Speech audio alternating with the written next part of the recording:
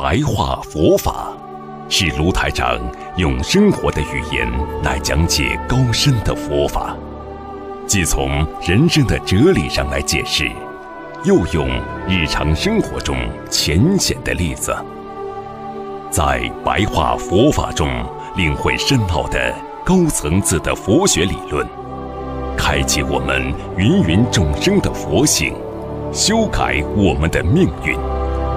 请收看卢台长的白话佛法。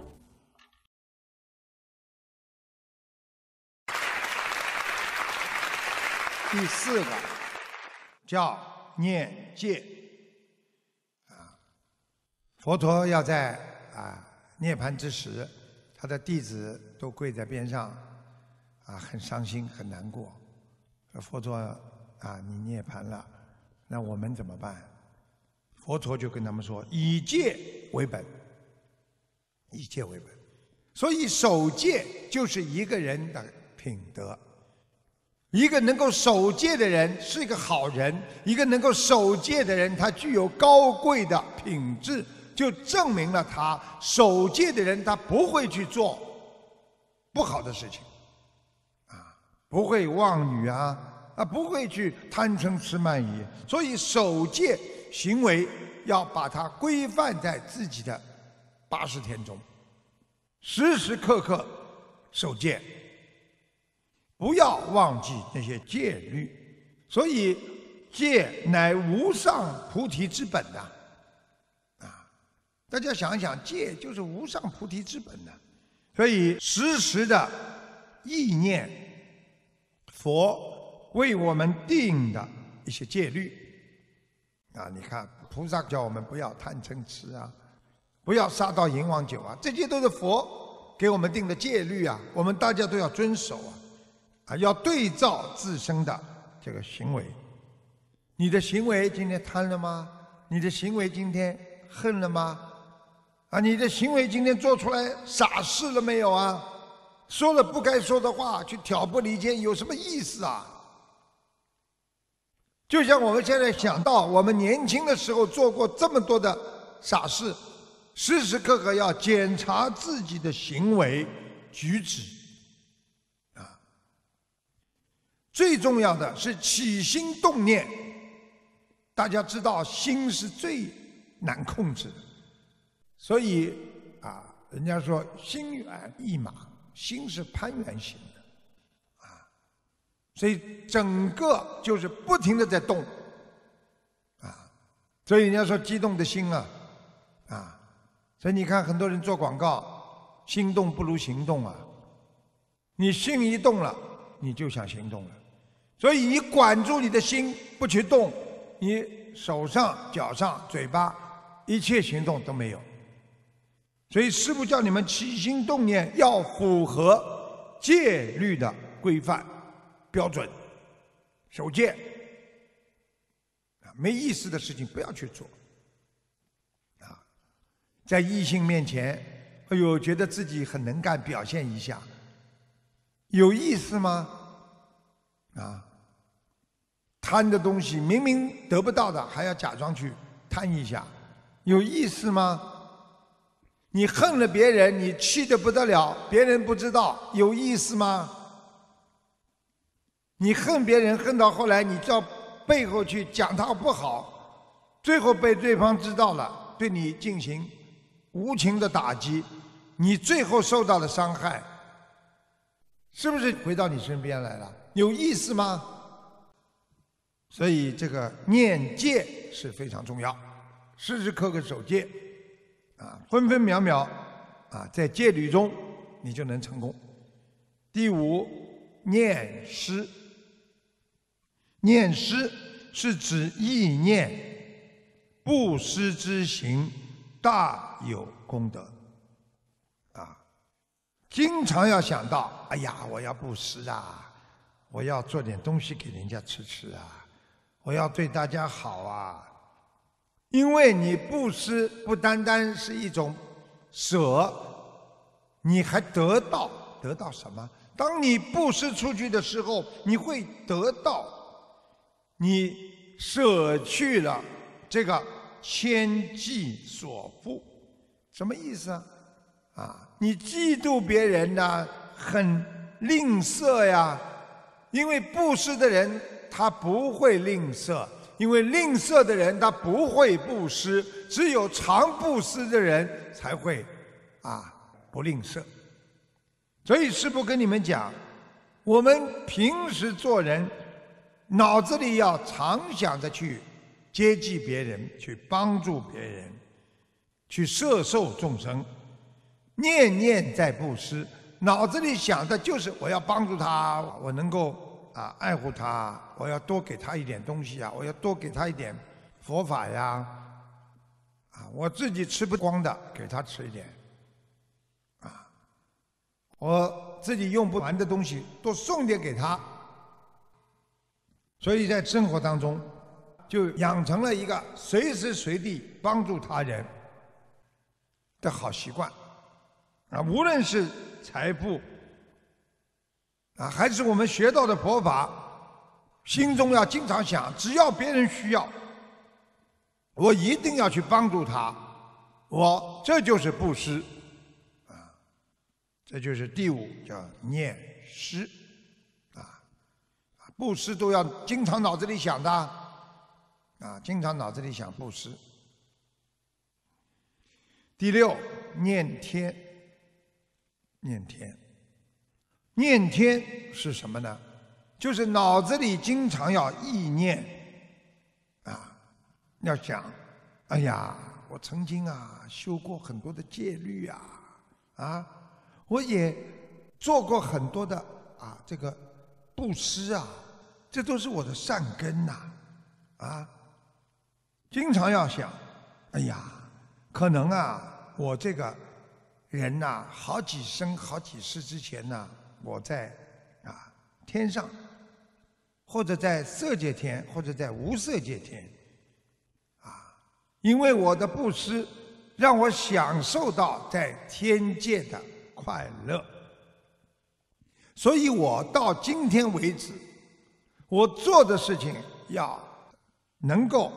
得到天上的应允，就是能够啊天意满足的，我就做；如果人不顺天意的话，一些事情我就不能做。啊，那么就是告诉我们，啊，因为天上菩萨告诉我们要守戒，我就守戒；菩萨在天上告诉我们要布施，那我就布施。啊要帮助别人，要时刻关心别人，我就时刻关心帮助别人。那么你最后就回天了。你经常想到我从天上来，啊，那你就是一个高贵的人了。所以过去有一句话叫破碗破摔。你说他，你这个人完了，你这个人没有救了。你这个人就是个垃圾啊！我就是垃圾了。你拿我怎么样？我垃圾我就做垃圾事情了。啊，所以经常叫你们要想到啊，念天。哎呀，我在人道是脱离了三恶道的人呐，啊，因为人是属于善道的了，三善道里面的。那么人道再下一道就是畜生了。所以你看，我今天。还能生在人道，就是我们有点福报，可能是我过去生中的福报，所以我还有天报，所以我要好好的感恩，我的前世还能够让我今天投人，我的前世还能让我闻到佛法，我的前世能够让我今天还感受到这个。美好的未来，因为我经常想念我曾经在天上的做的那些善事，所以人家说你在天上有福，你到人间就会有德；你在天上有福，你在人间就会有报；你在天上有福，你就会在人间一帆风顺。那么，经常念天，感受到自己的过去生中的那些善良，你就会变得越来越善良。那么第七就是念安那波那，把它翻译过来就叫念出入息。出入息是什么？就是我们的念头啊，念头。你们不知道念头跟呼吸有关系啊？啊，大家想想，是不是啊？你一呼一个念头，一吸就是一个念头，所以你去看很多人在动脑筋的时候，啊，他的呼吸就会急促，啊，所以有很多医生，他看你在紧张的时候，你的呼吸会加快。你在打妄语的时候，你的呼吸会加快。你紧张了，你想对某一件事情啊，对他重视了，你的呼与吸就特别的快。所以，这个念安那波那就是出入息，就是经常用呼吸的方法来让自己的心保持禅定，不要让它紧张，不要让它快。啊这就是师父经常跟你们讲了，深呼吸，然后慢慢的把它吐出来。这样的话，你的血压都会低。所以很多人的血压高的时候，人家叫你深呼吸。当你啊脑缺氧的时候，啊或者心缺氧的时候，心脏缺氧的时候，你要深呼吸。然后慢慢的吐出来，这个时候你就是禅定的状态。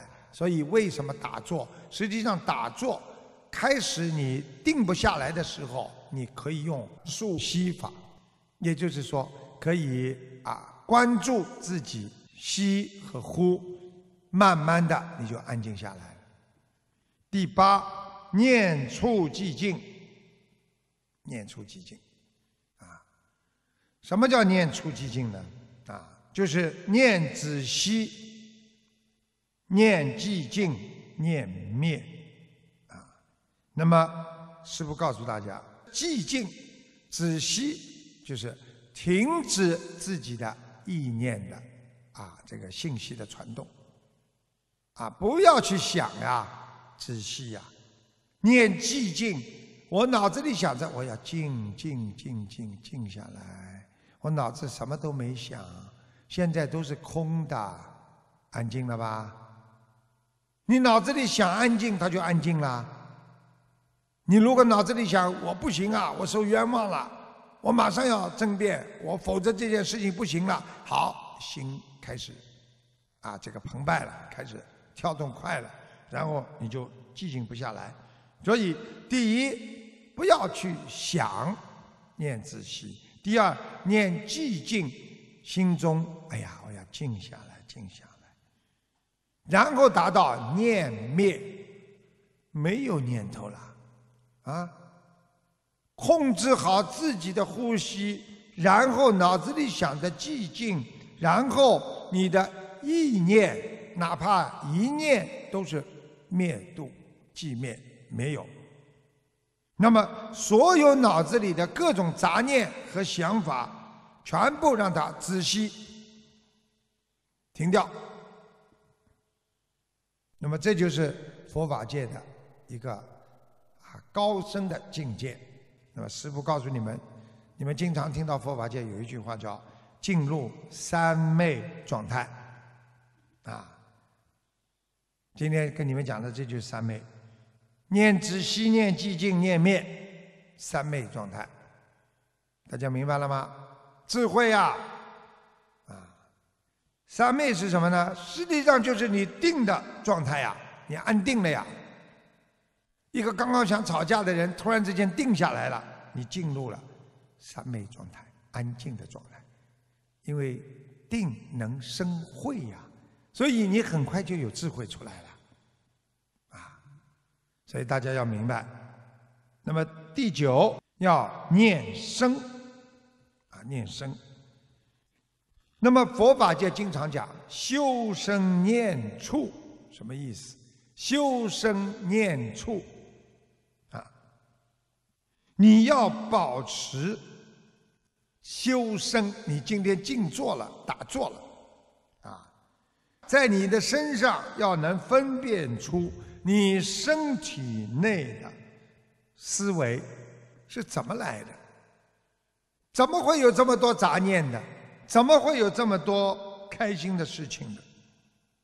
那举个简单例子，啊，你坐在那里很开心，突然之间来了个异性了，你马上有点兴奋了，你自己都不知道，你就开始兴奋了。你要知道，菩萨就是告诉我们念生，就是你要知道你为什么会突然之间兴奋起来。你要知道，哎呀，因为我看见个男的了。哎呀，我因为看见个女孩子很漂亮，然后这个时候，哎呀，我的心动了。哎呦，我现在坐不住了。哎呦，我知道这个毛病，赶快念三昧定。你首先要知道，你才能定啊。很多人先嘎嘎先嘎嘎，他不知道他自己做错哪里呀，他怎么能够定啊？所以师父跟你们讲的，你首先要分辨出你自己内心深处的活动。我今天的兴奋，此生从何来？我今天的烦恼，此生从何而来？你身体上为什么会有这些反应呢？就是懂得你的地水火风啊，啊，为什么？很简单，因为你分辨出了。哎呦，我不要发疯啊！啊，那就是疯，控制好自己，冷静、安静，对不对啊？还有一种，啊，自己身体到底缺什么了？要知道，今天我知道今天身体缺水，那么你在现实生活当中，我多喝点水。那么你在打坐，在身体上，我缺水，我应该怎么样？靠近水的地方喽，水是平静的喽。我今天应该静坐喽。我火来了，火气大了，我坐下来就不容易发火，我站着就容易发火。首先你要知道你要发火了，你才能克制啊。你如果你自己发火都不知道，那你不知道自己站着好还是坐着好。你如果站的话，很容易发火的。我告诉你，躺着的话更难发火，所以躺着发火比较少，坐着发火比较少，站着是最容易发火。所以你去看吵架的人，躺在床上，如果吵架了，很快他就爬起来了；如果一个人跟别人坐着吵架，他很快就站起来了，啊，所以你要了解。菩萨让我们念身，就是你要分别自己的身体在干什么。所以很多人自己身体做出来的行为自己不知道，就像一个小偷，他是一个惯偷，他看见东西他就要拿，他已经不知道自己在偷东西了。就像很多人看见异性他就动，制都制止不住的。不知道自己为什么会这样，那这个就是要经常念生，念生里边还有内念生、外念生、内外念生，什么意思啊？你要看外面，我今天这个脚怎么这么走路啊？很难看的。啊，我今天啊，为什么这个手没地方放了？这叫外念生。那么内念生呢？哎呀。好丢脸呐！啊，哎呦，我这个事情很丢脸呐！哎呀，我这个身体不能去做这种动作，做出这种动作，人家会看不起我的。内念生，那么还有内外念生，啊，心里动了，哎呦，心不能动，哎呀，心一动，手脚要乱动了，那么可能会做出那些无理之事，想想，哎呀，不能动，不能动。那就是内外念生。